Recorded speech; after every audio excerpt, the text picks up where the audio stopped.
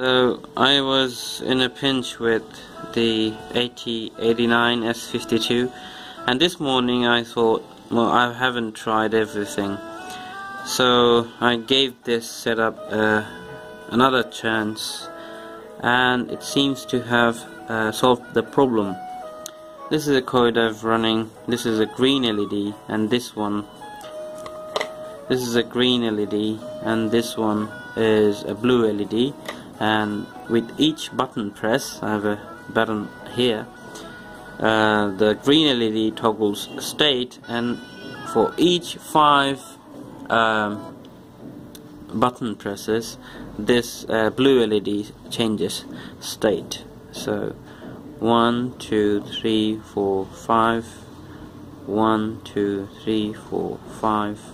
One two three four five. Yeah it works.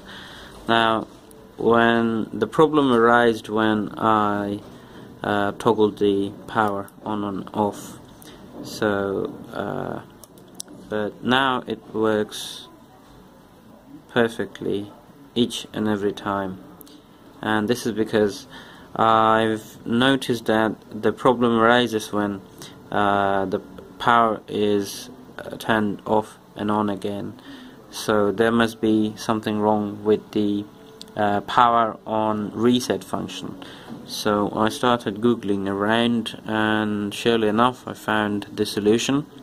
And it's adding this 10, uh, 10 microfarad capacitor from VCC to uh, reset pin.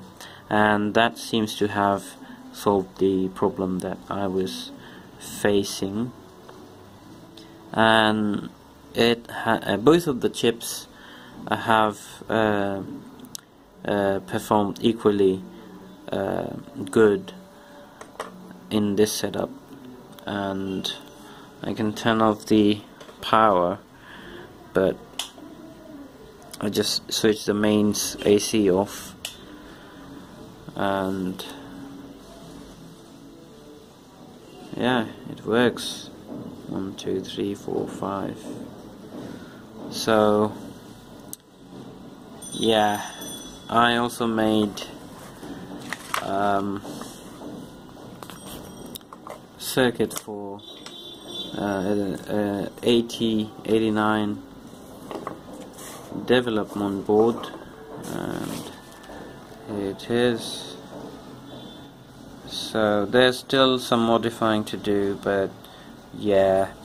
I think I'm gonna go ahead and uh, make a development board with this uh, IC and I take back everything I've said bad for uh, bad about this because clearly I was the stupid one um, who who didn't have the proper connections.